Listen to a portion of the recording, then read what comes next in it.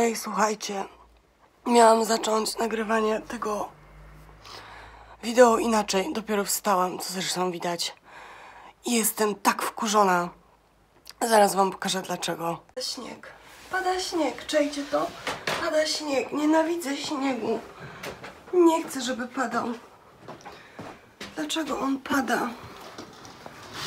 Dlaczego ty padasz?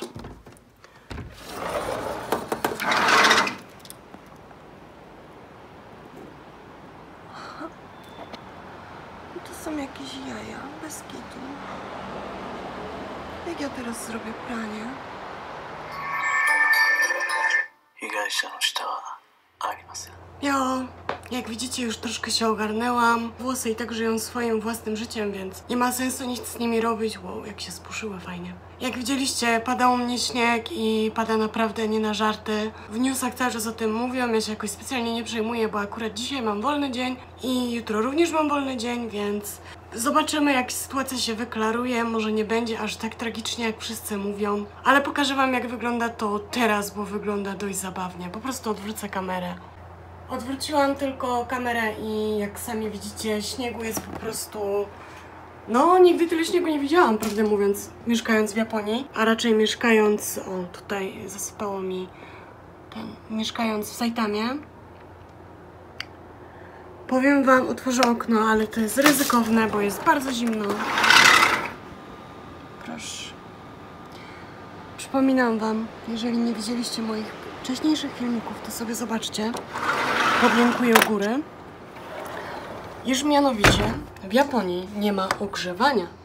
Zanim zaczniecie oglądać ten film, zapraszam Was, żebyście wzięli coś do picia albo do jedzenia. A wiem, że niektórzy z Was siedzą i oglądają moje filmiki przy śniadaniu, przy obiedzie albo przy kolacji, więc tak jest to idealna chwila, żebyście sobie właśnie wzięli coś do picia. Ja również mam ze sobą mój termos, który już widzieliście w innych filmikach, a w nim czarną herbatę z mlekiem migdałowym, czyli bawarkę. Pierwszy filmik z serii Musimy Pogadać nagrałam jakoś w lipcu albo w czerwcu, już nie pamiętam dokładnie, ale wiem, że było wtedy bardzo ciepło i pytałam Was o to, w jakim języku chcecie, żebym nagrywała filmiki. I powiem wam szczerze, że nie było jakiegoś dużego odzewu, też nie spodziewałam się, że będzie jakikolwiek duży odzew, dlatego tak długo nie robiłam kolejnego filmiku właśnie pod tytułem Musimy pogadać, bo nie mieliśmy za bardzo o czym gadać. Ostatnio na moim kanale, jak sami zauważyliście, pojawiło się trochę komentarzy, pozytywnych i negatywnych ocen oraz subskrypcji. Wow, w ogóle Jestem w szoku i bardzo, bardzo, bardzo, bardzo Wam dziękuję. Ja wiem, że może nie mam jakiejś super mimiki, która by zdradzała, jak bardzo się cieszę, ale wierzcie mi, naprawdę jestem, jestem zachwycona, jestem bardzo pozytywnie zaskoczona takim odzewem. Już jest nas 1300 osób na chwilę obecną.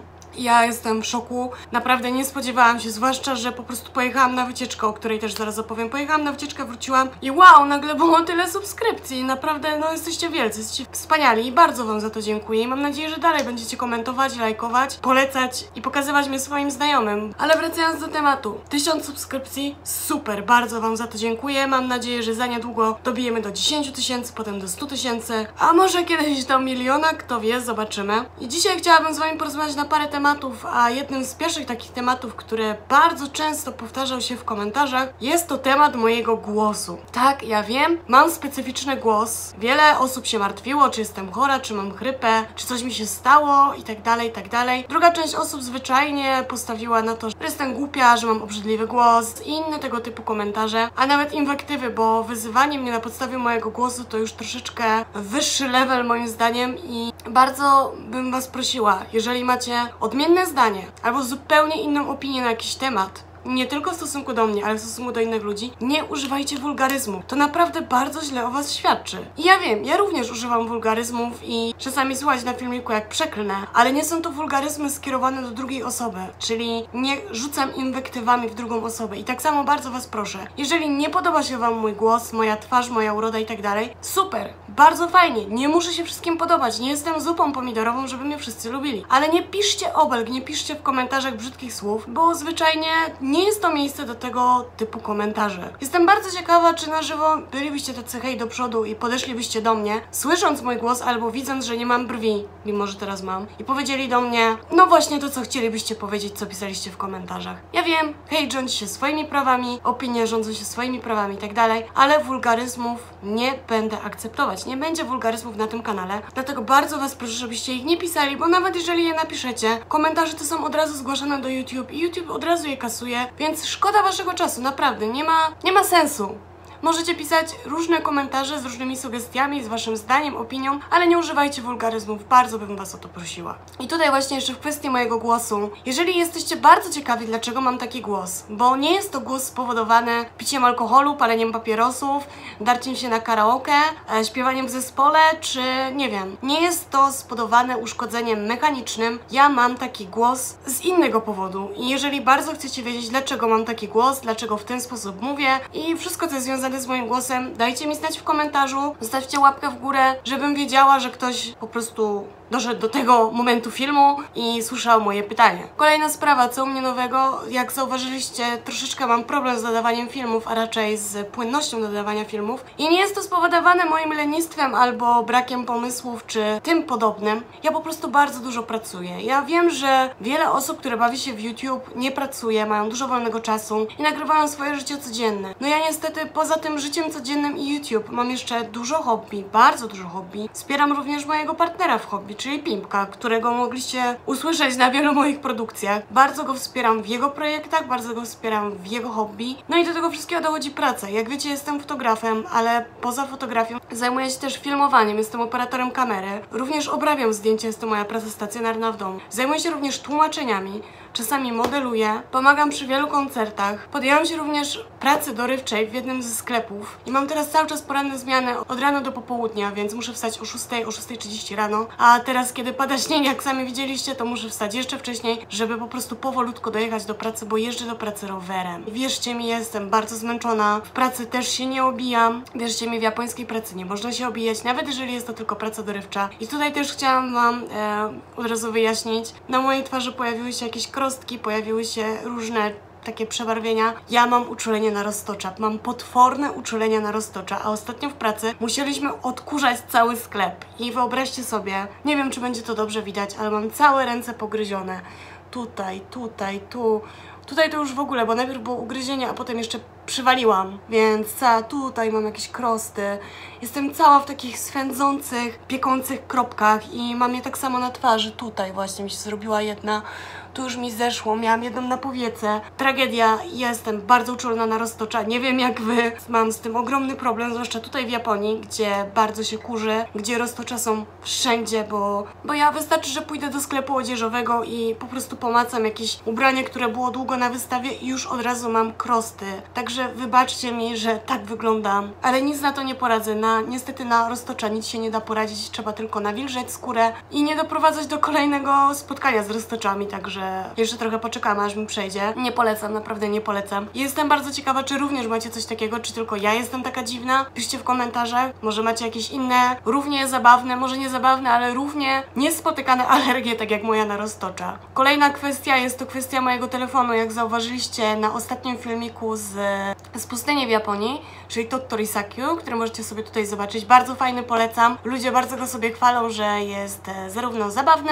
jak i edukacyjny, więc naprawdę polecam. Zobaczcie sobie ten filmik. Używam już nowego telefonu na tym filmie i jakość po prostu jest semanifig, jest przepiękna, dlatego teraz też widzicie mnie w tak dobrej jakości i widzicie wszystkie moje przebarwienia, krosty, um, nie wiem, naelektryzowane włosy, wszystko widać. Dlaczego mam nowy telefon? Z bardzo prostej przyczyny. Ktoś po prostu ukradł mi stary telefon. Ja wiem, wow, wow, wow, kradzież w Japonii. Nie wiem, kto go ukradł, nie mam pojęcia, kto go ukradł. Telefon został skradziony w momencie, kiedy ja byłam w pracy, więc bardzo możliwe, że ktoś albo go po prostu zabrał ze stolika, kiedy ja się odwróciłam zobaczyć grafik, czyli albo był to ktoś z mojej pracy, albo po prostu w szatni ktoś wygrzebał go z kieszeni. Chociaż w to wątpię, bo wydaje mi się, że zamknęłam mój telefon razem z moją torbą, jak zawsze w szafce pracowniczej, więc byłoby to dziwne, gdybym nagle zostawiła telefon w kieszeni i po prostu odwiesiła płaszcz. Także nie wydaje mi się, żebym to zrobiła. Nieważne, nieistotne, ktoś ukradł mojego iPhone'a 5S. Jak skończyłam pracę, najpierw pomyślałam, kurczę, pewnie jest w torbie, bo go nie miałam nigdzie w kieszeniach, a torbę też miałam wypchaną po brzegi z zakupami i innymi rzeczami, więc stwierdziłam, kurde, no nic, nieważne, dojadę do domu, bo jadę rowerem, więc jak wiecie sami, na rowerze nie można się bawić telefonem, a przynajmniej w Japonii jest taka zasada, że nie wolno słuchać muzyki jadąc telefonem. Co? Nie wolno słuchać muzyki jadąc rowerem i nie wolno w ogóle mieć e, telefonu w dłoni, bo można za to dostać mandat albo można zostać spisanym przez policjantów. Nieważne. Wróciłam do domu i miałam po prostu taką pikawę, gdzie jest mój telefon, jak ja będę nagrywać. Jak ja teraz będę się budzić rano, bo nie mam żadnego innego budzika jak ten telefon. I wróciłam, tak jak tutaj jest korytarz, wróciłam tym korytarzem, tutaj do lodówki, wyrzuciłam wszystko z torby. No nie ma, no nie ma tego telefonu. No to wzięłam telefon Pimpka, od razu pyk, zadzwoniłam do firmy i mówię, że nie mam telefonu, prawdopodobnie został on w firmie, bardzo proszę, żeby go przeszukali.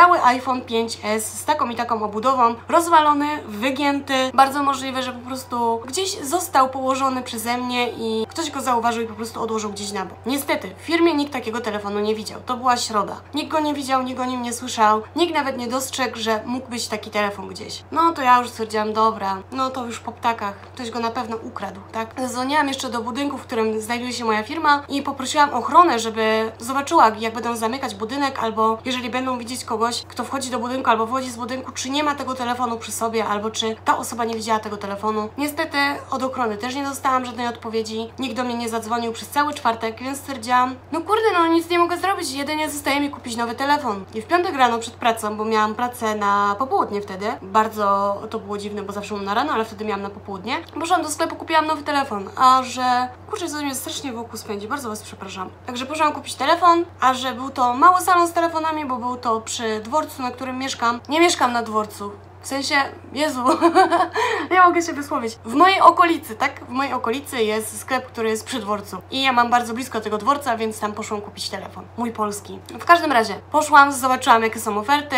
Dalej chciałam iPhone'a, ponieważ mam MacBooka i iPhony najlepiej są po prostu kompatybilne z MacBookami. No i do tego jestem przyzwyczajona do iPhone'a, bo mam go już 4, 5 albo 6 lat, już nawet nie wiem ile, chyba 6 lat już mam iPhone'a. Więc ciężko by mi było teraz przejść na Androida. Chciałam kupić iPhone'a X, ale X, X, nie wiem, X się mówi po japońsku. Chciałam go kupić, ale nie był dostępny od ręki, trzeba było czekać dwa tygodnie, a ja stwierdziłam, nie ma opcji. Jedziemy na pustynię w poniedziałek, jest piątek, a ja mam czekać dwa tygodnie na telefon? No way, nie będę czekać, nie, nie ma takiej w ogóle, nie ma takiej rozmowy nawet. No to jedyny telefon, jaki był dostępny od ręki, był to telefon iPhone 8, 8 Plus i 8, więc wybrałam 8 Plus i to jest właśnie ten telefon. Potem jak sprawdziłam parametry, wcale się nie różni jakoś specjalnie od iPhone'a X, poza tym, że nie ma czytnika twarzy, także who cares. Dwa lata i pewnie będzie kolejny jakiś super iPhone, na ten się umowa skończy, albo mi go ktoś ukradnie, albo się rozwali, więc będę miała znowu nowy telefon za dwa lata. To nie są już takie telefony jak 10-15 lat temu, że się miało jedną motorolkę przez 15 lat i wszyscy, cała rodzina na niej po prostu dusiła. Ja miałam taki telefon, był to chyba Samsung i po prostu był niezniszczalny. Dałam go potem mojej babci i dopiero babcia już go wymęczyła do cna, naciskając guziki i padł. Anyway, kupiłam nowy telefon i zaraz od razu z tego salonu pojechałam do pracy. Jakie było moje zdziwienie, gdy pani z ochrony przy wejściu do budynku powiedziała mi, czy to pani dzwoniła w sprawie iPhone'a? Tak. Bo ktoś go dzisiaj przyniósł. Lol, jak to go ktoś dzisiaj przyniósł? No i cała historia opowiada mi, jak to ktoś dzisiaj rano przyszedł właśnie od strony pracowniczej do tego budynku i przyniósł tego iPhone'a rozładowanego do cna, mówiąc, że znalazł go przy wejściu. Jak? Jeżeli ktoś by go znalazł przy wejściu, to znalazłby go już w środę, a nie w piątek rano. Także coś nie halo bardzo i wydaje mi się, że ta osoba, która go przyniosła, po prostu ten iPhone może nie ukradła, może go po prostu sobie wzięła. Nie używajmy słowa kradzież, bo nie wiadomo jak to było naprawdę. Może go po prostu wzięła, próbowała odblokować. Niestety był na dwa hasła i na odcisk palców, więc nie była w stanie go odblokować. Telefon był stary, telefon był popsuty. Stwierdziła, że go nie sprzeda, nic, nie będzie miała żadnej korzyści z tego telefonu, więc go oddała. To było dziwne, bo już kupiłam nowy telefon, a teraz mam jeszcze stary telefon, więc mam dwa iPhony. Przy czym, jak już sami wiecie, nagrywam wszystko nowym. Tamten iPhone po prostu używam jako budzik, jako odtwarzacz MP4, co widzieliście też na filmiku, że słucham z niego muzyki. I taka oto właśnie historia. Tak właśnie kupiłam nowy telefon. Mam nadzieję, że widać tą y, różnicę w jakości i że teraz będzie się Wam o wiele przyjemniej oglądało filmiki. Co jeszcze chciałam powiedzieć? No już jest niby styczeń, już jest połowa stycznia. Ja nie nagrywam żadnych filmików z postanowieniami noworocznymi, bo zwyczajnie po prostu takich postanowień nie mam. Mam teraz, ale nie jest to postanowienie noworoczne, tylko jest to po prostu postanowienie, żeby być bardziej aktywna na YouTube, żeby Wam faktycznie nagrywać te filmiki. Mimo, że mam tak dużo pracy, mimo, że pracuję teraz 4, a nawet 5 razy w tygodniu i jestem tak wymęczona, bo może nie wiecie, ale no niestety mam duże problemy ze zdrowiem. Troszeczkę szybciej się męczę niż normalne osoby w moim wieku i mam bardzo duży problem właśnie z tym zmęczeniem. I zazwyczaj, kiedy wracam z pracy, to biorę prysznic, idę spać na godzinkę,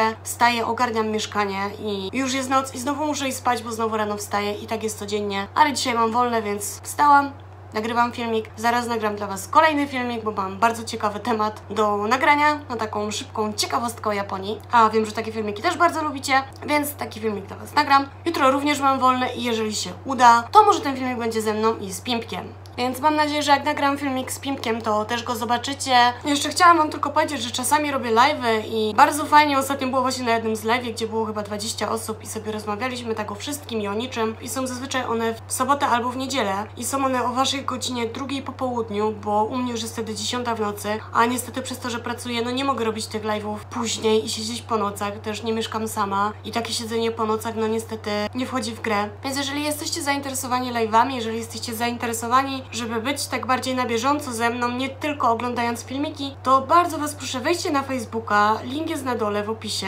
chyba jest podpisane jako bądźmy w kontakcie, czy coś takiego. Wejdźcie sobie, nie jestem tam jakoś super aktywna, bo jak wiecie już teraz po tym filmiku dużo pracuję, mam dużo obowiązków, mam dużo hobby. Teraz na szczęście już mam internet w telefonie, więc chociaż tyle, bo mogę Wam wysyłać filmiki z miejsc, w których jestem, tak jak ostatnio wysłałam. Fujisana, górę Fuji, także troszeczkę może będę bardziej aktywna, ale też nie obiecuję na 100%, bo nie ma co obiecywać. Nie wiadomo, jak się życie potoczy. Tak samo jak powiedziałam, że nie będzie śniegu w Tokio, a sami widzicie, że jest śnieżyca. Mam wrażenie, że ten filmik będzie bardzo długi. O, teraz zobaczyłam, jak jestem czerwona na twarzy. Jak przysunęłam dłoń do twarzy.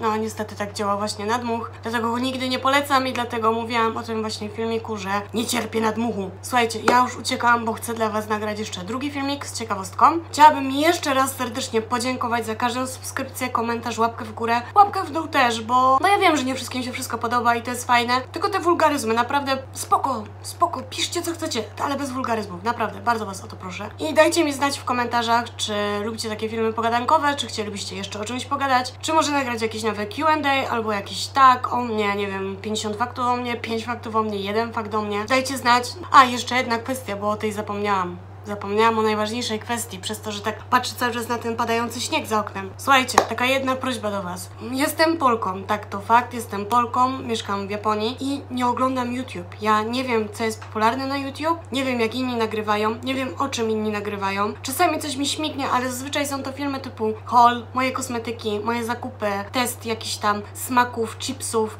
smaków żelek i tego typu. Ja takich rzeczy nie nagrywam, nie mam zamiaru nawet nagrywać. Uważam, że mam zupełnie inne rzeczy Wam do przedstawienia, do pokazania. I ja wiem, że te filmiki są bardzo popularne i bardzo je lubicie, ale nie byłabym sobą robiąc takie filmy. I chciałabym Was bardzo prosić o zrozumienie, że niestety, ale jak sami zauważyliście i sami piszecie mi w komentarzach, jestem inna, jestem nienormalna, jestem dziwna, więc tak samo w tej kwestii filmikowej jestem inna, nienormalna, dziwna. Nie robię zakupów, jak robię zakupy, to robię zakupy do domu, jak zauważyliście, sama chemia i same jakieś takie rzeczy jedzeniowe. Foodbook dla Was nagrywam, cały czas jest nagrywany, mam nadzieję, że się Wam spodoba, więc czekajcie na niego. Wszystkie propozycje innych filmików są bardzo mile widziane. Zawsze piszcie w komentarzach, co byście chcieli zobaczyć, o czym byście chcieli porozmawiać. Czy macie jakieś pytania odnośnie mnie, odnośnie Japonii, odnośnie czegokolwiek? Postaram się odpowiedzieć w komentarzu albo nagrać o tym filmik. A na chwilę obecną naprawdę już kończę, bo zaraz będzie ciemno i nic dla Was nie nagram. Dziękuję za uwagę. Zapraszam na Facebooka do komentowania lub lajkowania i subskrybowania. Przepraszam Was za długą nieobecność i widzimy się w kolejnym filmie. Trzymajcie się. Pa, pa!